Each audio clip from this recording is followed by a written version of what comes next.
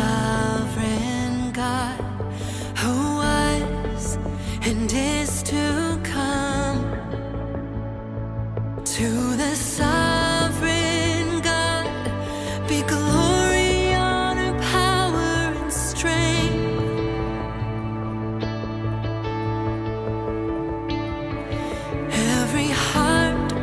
Father God, thank you for Taps. Thank you for the man he is and the servant of your kingdom he is, Lord. And we pray that as he brings us word this morning, as he kicks off this new series, Lord, I pray that you'd speak through him, that you'd give him the words to say, and that you'd give us the hearts to receive this morning. In your name I pray.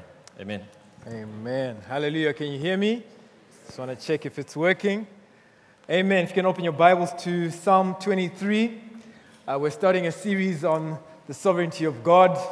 And uh, Psalm 23 is a psalm that I used to hear at funerals. And as I kind of uh, got to know the psalm more and more, I realized that the psalm was actually more about uh, our daily lives as opposed to death. Um, so I trust that God will speak to us. Um, so if you got your Bible, Psalm 23, verse 1, um, my version says, The Lord is my shepherd, I lack nothing. He makes me lie down in green pastures. He leads me beside quiet waters. He refreshes my soul. He guides me along the right paths for his name's sake. Even though I walk through the darkest valley, I will fear no evil. For you are with me, your rod and your staff, they comfort me. You prepare a table before me in the presence of my enemies. You anoint my head with oil. My cup overflows. Surely your goodness and love will follow me all the days of my life, and I'll dwell in the house of the Lord forever. Amen. So, David wrote the psalm. David had the background of being a shepherd. So, he said, The Lord is my shepherd. And I was thinking that if, if it was 2024 and God had revealed himself to uh, Generation Z or, or something like that, maybe uh, the person would have said, Look, you know, you know the, the, the Lord is, is my iPad, or the Lord, he might have made reference to some kind of technology. And I guess the point I'm making is that God revealed David to, to David himself in a way that David understood. Because David was a shepherd, and, and, and God is so gracious, isn't he? He reveals to himself to us in ways that we understand. And if you're an engineer, you, as you're working, something of God will be revealed to you by him. So we, we are stuck with the shepherd analogy because that's what David knew. But I trust that God will speak to us through David's life. And as you go through, as you read through the Bible, you'll notice that God would reveal himself in different ways. Some people would say, well, he's my dwelling place, or he's my rock, or he's like a mother hen, or uh, all sorts of analogies were used to describe who God was. And in Psalm 23, verse 1, David says, The Lord is my shepherd. And the starting point is to look at the first two words that David used. He said, The Lord is my shepherd. He could have said, God is my shepherd. Or he could have said, Jehovah is my shepherd. So why did he use the word Lord? is because Lord speaks of master. Lord speaks of owner. Lord speaks of the one who's sovereign, the one who is in charge. So at, from the very beginning, David was saying, you know what? God is actually the Lord. He is in charge. And I want to encourage us this morning to always put Jesus at the center of our lives. Make sure that He is Lord. Make sure that His word governs how you live. Make sure that what He says about how we handle money governs how we live our lives. He has to be the Lord, He is sovereign. You see, there are no surprises with the Lord. So you and I may be surprised as to what happened in our lives, but the Lord is not surprised. And that's why David said, The Lord is my shepherd. He was talking about Jesus. And a thousand years later, Jesus affirms exactly what David says. So in John 10 11, Jesus then said, Actually, you know what? David was right. I am the good shepherd. I am the Lord. I'm so good. The good shepherd lays down his life for the sheep. So he didn't just say, I am the Lord. He said, I am the good shepherd. God is good. Amen. If you are a relatively young Christian and you're trying to figure out the Christian life, here is the basic God is good, the devil is bad. If you can get that, you're like at 70%, okay? God is good. Jesus calls himself the good shepherd. And often as Christians, we get so caught up because somehow we ascribe to God the work of the enemy. Let's be careful not to ascribe to God the work of the enemy and remember that Jesus is the good shepherd.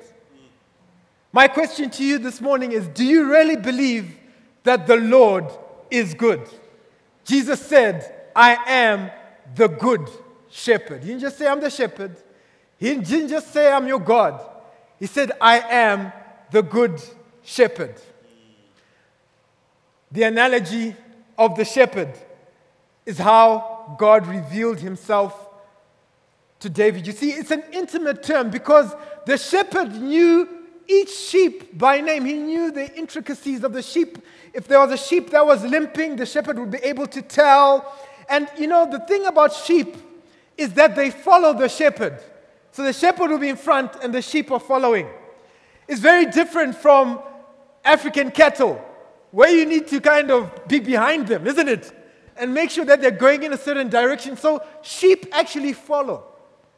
And it's an intimate term when the Lord said, I am the good shepherd. You know, in the Bible days, the shepherd was one of the lowest paid jobs. So when God describes himself as the good shepherd, it shows us the humility of Christ. You see, the youngest in the family would be the shepherd. That's why David was the shepherd. That's why Joseph was the shepherd. So when God said, I am the good shepherd, he wasn't saying, you know, I'm actually, you know, right up there, you know. No, he was saying, I am the lowest of the low. I'm willing to lay down my life for you. For you. And why did Jesus call himself the shepherd? It's because he wanted you and I to be able to relate to him. He wanted you to be able to say, you know what, the Lord is my, is, is, is, is my combi windy. He's with me, he's on the ground. He's not high up, inaccessible. He's on the ground with me. I can relate with him. He, can, he knows my struggle. He is my shepherd. He is my shepherd. Says, I am the good shepherd. You can access me. Now, here's the deal. So you'd have the shepherd, okay, with maybe a hundred sheep, yeah?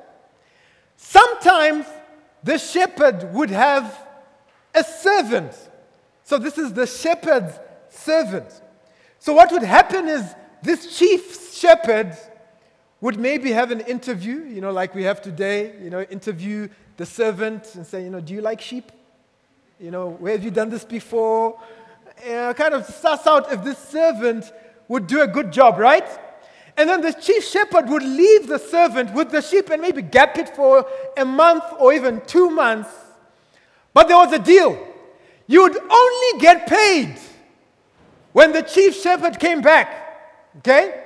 So you would come back, and before you get paid, he would assess how his sheep were. Fair deal, right? So that was the chief shepherd. So, in other words, there was the chief shepherd, and then there was the shepherd with a small s, who sometimes would be asked to take care of the sheep. And it's interesting because in John 21, which we won't turn there, Jesus, the chief shepherd, asked Peter, Peter, do you love me? Peter says, Yes, I am. And he said, Feed my. The chief shepherd was checking out this shepherd with a small s to see whether or not he would take care of his sheep. And it's like that we see it in 1 Peter. that elders are charged. The- Bible says, be shepherds of God's flock. That's with a small s. That is under your, ca- under your care, watching over them, not because you must, but because you are willing, as God wants you to be, not pursuing dishonest gain, but eager to serve, not lording it over them, over those entrusted to you, but being examples to the flock. And then when the chief shepherd appears, you will receive the crown of glory that will never fade away. When the chief shepherd comes, the shepherds with a small s will be rewarded. Friends, here's my encouragement to you this morning. Church leaders, shepherds with a small s, should never replace the chief shepherd in your heart. However good they are, whether it's Scott, whether it's the Pope, whether it's the elders, they should never replace the good shepherd in your heart. The good shepherd, the ultimate, the chief shepherd, he's in charge and he's sovereign. And the small s shepherd is human, imperfect, and sins. And if you put your trust in the shepherd with a small s, and, and they go away, or, or they get sick, or they make mistakes, or whatever, your life will crumble. It's true. Affection is for the chief shepherd, when, when the small shepherd, with the, when, uh, when the shepherd with the small s kind of makes mistakes, you can kind of navigate through life. In fact, in John 10 11, you know, Jesus says, I am the good shepherd. The good shepherd lays down his life for the sheep. The hired hand is not the shepherd and does not own the sheep. You see, when he sees the wolf coming, he abandons the sheep and runs away because he's human, he's imperfect. Then the wolf attacks the flock and scatters it. You see, the man runs away because he's hired. He cares nothing for the sheep. Jesus says, You know what, guys? Verse 14 I am the good shepherd. Don't ever forget, I am the good shepherd. I know my sheep, and my sheep know me, just as the Father knows me, and I know the Father. I lay down my life. Friends, I remember a time when I acted like the hired hand. In fact, there was this, it was a real life situation that happened when I was leading a church in Bulawayo. There was this couple that was going through a divorce, and I remember it was quite messy, and my knee jerk reaction was to go and stand and support the brother. Okay? What I didn't realize that instead of trying to, my knee jerk to try and support him, I should have actually tried to establish the truth. And it so happened that there was actually physical abuse in this whole thing. He was beating her up. And here I was, kind of standing with the brother without actually trying to understand what was happening. The lady felt unprotected. The sheep felt unprotected by the hired hand. She stopped coming to church.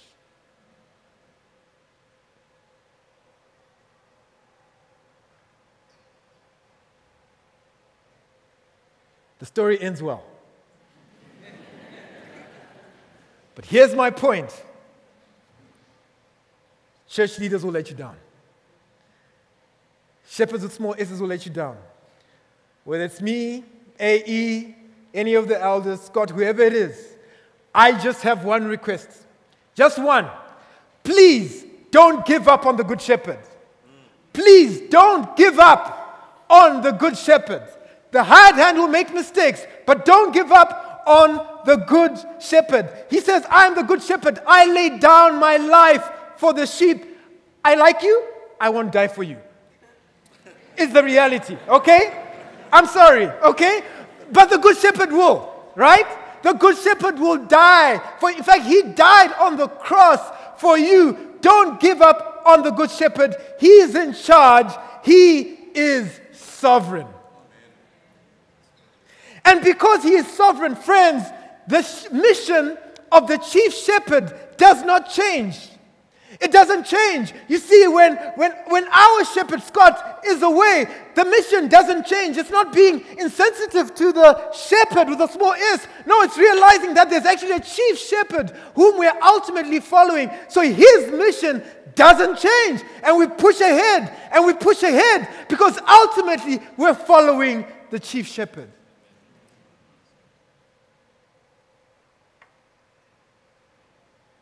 Was praying this morning and God told me that there are people here who've been hurt by shepherds.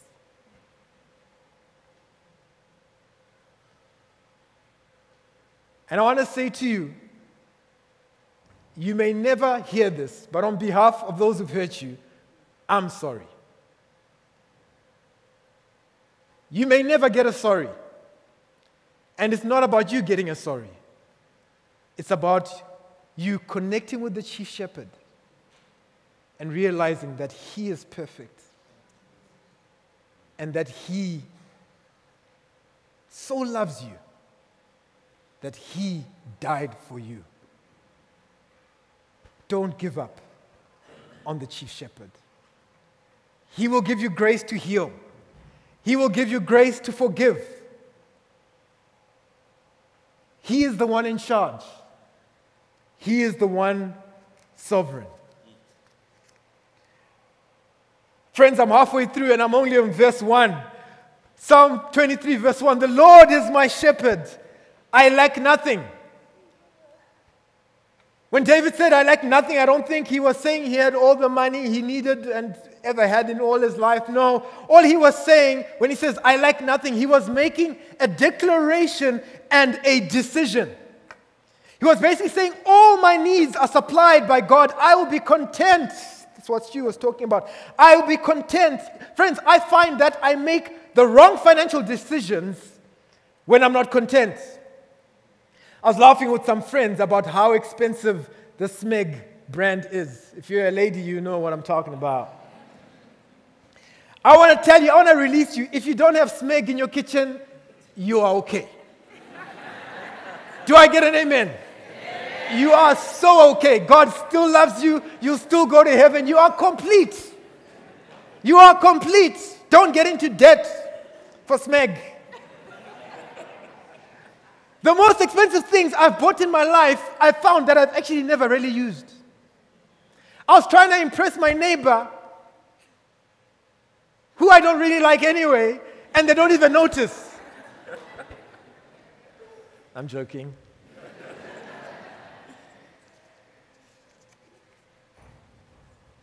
One of the best things you could do after this service is to go to the information desk and say to them, please tell me about the Money Wise course. There is a course running.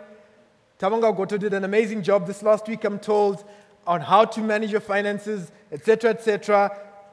You can declare and decide, I lack nothing. Because He's in charge, He is sovereign, He is Lord. Verse 3, Psalm 23, from verse 2 to 3. I love this. It says, He makes me lie down in green pastures. He leads me beside quiet waters. He refreshes my soul. Friends, you know what? The Lord who's in charge makes us lie down. Has God ever made you do something? I've got a confession. Are you ready? I've got a confession. I wouldn't have moved from Bulawayo to Harare had it been up to me. That's my confession. God asked me to move, and I was like a Jonah. Okay? I promise you, I, that's the one guy I want to meet in heaven Jonah. I, I, you know, I, I, I, you know, we, we, we, we I, can, I, I can feel him. Some people want to meet the Apostle Paul. Want to, you know, I just want to meet Jonah. And just say, dude, I, I, I understand. I, I understand. Okay, so I was a Jonah, okay? The Lord, He says He makes you lie down. How many people have found yourselves in situations that you would have probably never chosen yourself, but it's actually good for you? And it's only when you look back, you're like, thank you, Jesus. Thank you. I'd rather be in your will than outside of your will. Thank you. Thank you. He makes you lie down in green pastures, and maybe you've been tempted to think that the grass is greener on the other side. Maybe you actually have a good husband or a good wife, but you're thinking, is she not? I wonder what it would be like if I was married to someone else. Ooh. He went there. Yeah. And maybe everyone can see that you're actually on a good wicket. Everyone can see. But you can't see it. And it feels like God is making you lie down. Friends, the Good Shepherd lovingly protects us from ourselves. He makes us lie down in green pastures. And when you're being made to do something, it's not always comfortable. But he's making you lie down in green pastures. Green pastures are way better than a desert situation where there's thorns and cactus. Friends, just yield and allow the good shepherd to make you lie down. He's in charge. Maybe that new job hasn't come up because you're actually in green pastures. I'll let that simmer. Maybe that's where your promotion is going to come from. Verse 3 says, He guides me along the right paths for His name's sake. A few weeks ago, I was talking about the Holy Spirit, how He leads us and He guides us. And it's so true, isn't it? We need the guidance from the shepherd, He guides us by His Spirit. You know, God will always, always guide us in a way that gives glory to God. There's no guarantee that the guidance will be comfortable. But there's a promise that He will guide us. And maybe you don't know whether you're coming or you're going. Maybe you don't know what's happening in life, whether you should turn right or turn left. Maybe you're kind of feeling like your life is at the crossroads. Well, there's a promise that the shepherd will guide you. Hallelujah. What a shepherd. What a good shepherd. What a good shepherd. And as you begin to, to, to, to, to, to learn and get a revelation of how good this shepherd is, you kind of think to yourself, you know, why should I even backslide? Why should I even run away and wander away? Because sheep sometimes, you know, just everyone's going in that direction, but this is one little sheep just starts kind of by itself. It's like, so why would I back? Why would I run away from this shepherd who guides me? Verse 4 says, Even though I walk through the darkest valley, some versions say, Even though I walk through the valley of the shadow of death, I will fear no evil, for you are with me, your rod and your staff, they comfort me. And maybe you're experiencing sickness, maybe it's financial problems or relationship challenges, and you're kind of feeling like you're walking in a dark valley. There is a promise that the shepherd will be with you. His rod and his staff they comfort you. And when you look at that scripture, David says, Even though I walk through. So you're going through. Turn to your neighbor and say, You're going to make it through. Don't be shy. Say, We're in church. You're going to make it through. Yeah, you're going to make it through. You're going to make it through. I'm here to tell you that you're going to make it through. Even though you're going through a dark season, you are going to make it through. Amen. You're going to make it through. You see, the fact that there is darkness doesn't mean that He's not with you. Your dark season will pass. Even death for a Christian is victorious. A guy called Charles, Charles Spurgeon. He says, The shadow of a dog cannot bite, the shadow of a sword cannot kill, the shadow of death cannot destroy us. Maybe you're thinking, sheesh, guys, the world is getting evil. Yes, it is. But the shepherd's presence will always be there. His presence does not eliminate evil, but eliminates the fear of evil. He fights for us. This shepherd fights for us. You know, Bible talks about the, his rod and staff. Okay? He uses that to fight for us. If you remember, David was saying, you know, I've killed a lion, I've killed a bear, that kind of thing. I mean, that rod, I mean, guys could work with this thing. He fights for us, fighting off predators. fighting off predators. If you're in a relationship, you should be praying, God, fight off any wolves in sheep clothing. Oh, he's gone there. Fight off any wolves in sheep clothing who are saying they love me, but they might be deceptive. Fight them all for oh God. And if you're trying to be pure, if you're trying to make the Lord the Lord in your life and you want to say no to sex before marriage and they don't understand that, then it shows that they're a wolf in sheep clothing.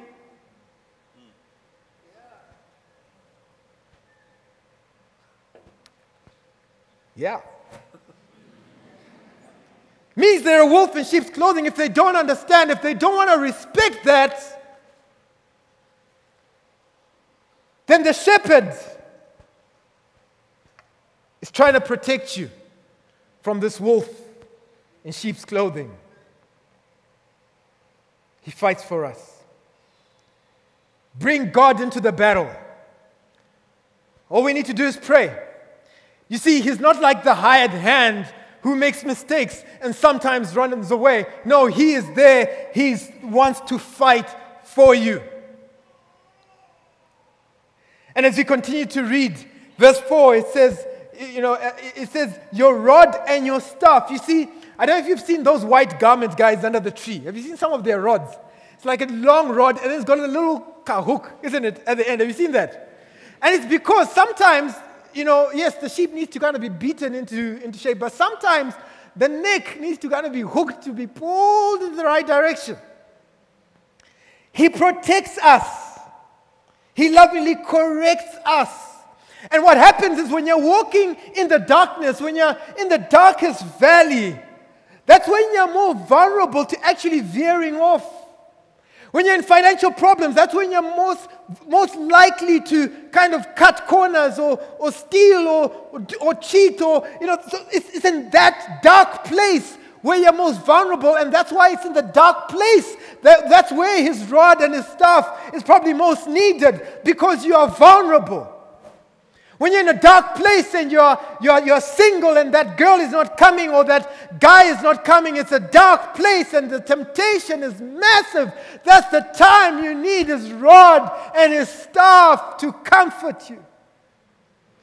It's in those seasons where, where, where, where your marriage is on the rocks and you are struggling and you're in that dark valley. That's where you need his rod and his staff to comfort you because all of a sudden, that lady who doesn't like talking to you is all of a sudden friendly to you and it's becoming a temptation. And you need his rod and his staff. When you're in that dark place, thank God for his rod and his staff to guide us, to correct us. Because that's when we are fearful, when we're at our weakest. He is the good shepherd. He is the good shepherd. Verse 5 The good shepherd blesses us in our darkness. He says, David says, talking about Jesus the Lord, he says, You prepare a table before me in the presence of my enemies. You see, in the Bible times, when you were invited to dinner, it was like it was not just an invitation to come and eat, it was an invitation for intimacy and fellowship. That's why Jesus would break bread and eat with his disciples. It wasn't just about the food, it was about the intimacy. And even in present day times, when, when, you, when people are coming to eat, there's something about intimacy and fellowship. So when, when David is saying, Hey, you, you prepare a table before me in the presence of my enemies, he's saying, God, when I'm in my darkness and I don't know whether I'm coming or I'm going, you invite me to intimacy. And that's, that's the word that, that, that Beck and Stu brought about God actually inviting us to intimacy when he says, You prepare a table before me. And he does it in the presence of your enemies. Imagine God sitting at the head of the table. And there your enemies are around, and he's there. He lays the table before you, still in the presence of your enemies. And you think, well, God says, you know what? I've got so many enemies, you know, depression and sickness and, and financial challenges and, and relational challenges and fear and low self esteem and, and a lack of hope. And there's just darkness all around me. And God is saying, you know what? I'm actually going to invite you to intimacy in the presence of your enemies. You see, Jesus wants you in the midst of that mess and that darkness to just fix your eyes on Him. That's the deal, friends. Just fix your eyes on Jesus. You can't control what's happening around you. You can't control the darkness. You can't control the fact that Russia is fighting Ukraine. You can't control all that. But you can fix your eyes on Jesus because He lays a table before your enemies. And I remember thinking, God, why are you laying a table before my enemies? Why don't you just kind of make it you and me, Jesus? Why do my enemies have to be watching? And he says, because I want them to watch me as I bless you. I want them to watch me as I bless you. That's why I lay a table before, that's why I lay the table before your enemies. Listen, friends, when you see your enemies, it's good news. It shows that it's time to eat. Psalm 23, verse 5. about to come to close. He says, You anoint my head with oil, my cup overflows. Friends, sheep were anointed with oil for a number of reasons. The shepherd would anoint the sheep with oil on their heads for a number of reasons. Firstly, what would happen is the male sheep would be butting heads, butting heads. The male sheep would be butting heads, and he anointed their heads with oil so that there'll be lubrication, so that when they butted heads, there was minimum damage to the sheep. And you see, God kind of oils our relationship. Have you ever been in situations where you've kind of butted heads with someone and it, you kind of think, I don't know how we managed to reconcile that? I don't know how we actually managed to, to, to, to, to, to, to be restored as a husband and wife. I don't know how we kind of, I managed to reconcile with my mother in law. I don't know how I managed to reconcile with my brother, my sister, my friend, my boss, my, my employee. Well, you see, God anoints our heads with oil for the restoration of relationships. He anoints my head with oil. The second reason why the shepherd would anoint the sheep's head with oil was to heal from scabs. So there would be all sorts of kind of things happening on that head. And that oil would be a healing balm. And the oil is, oil is a symbol of the Holy Spirit. And there's a promise right there that Jesus is our healer. And that's why we continue to pray for Scott. That's why we continue to pray for one another. And we're pressing in. Why? Because he anoints our heads with oil. The shepherd would anoint the sheep's head with oil. And for today, finally, he would anoint their heads with oil. Because the oil would act as a repellent from parasites and snakes. You see, friends, God protects us and He repels the enemy when we stick our no- noses in the wrong places.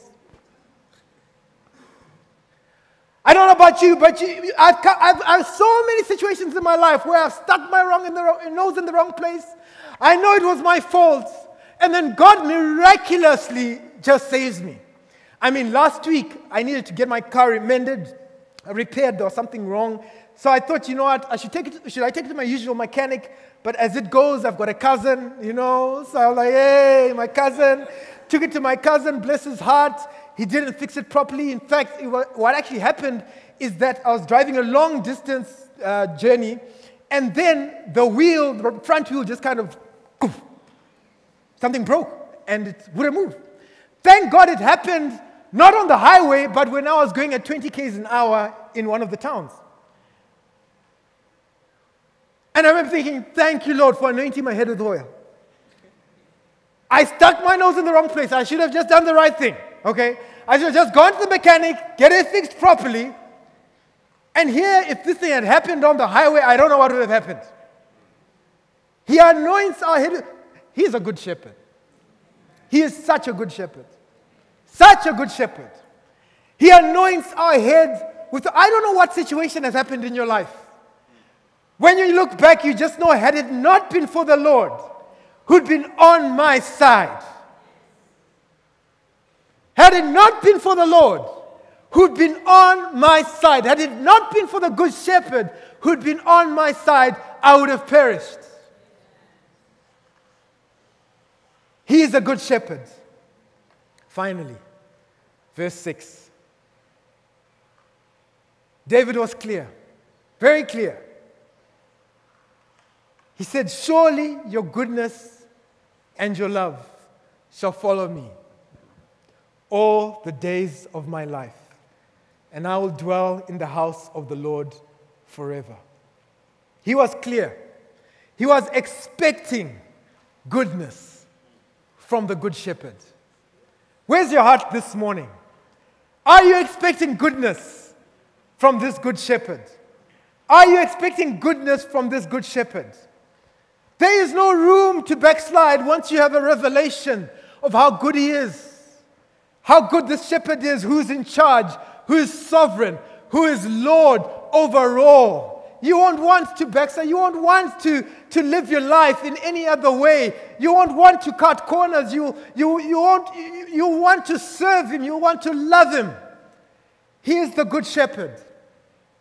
And what's really amazing concerning this shepherd is that the Bible says that the shepherd, the good shepherd, will leave the 99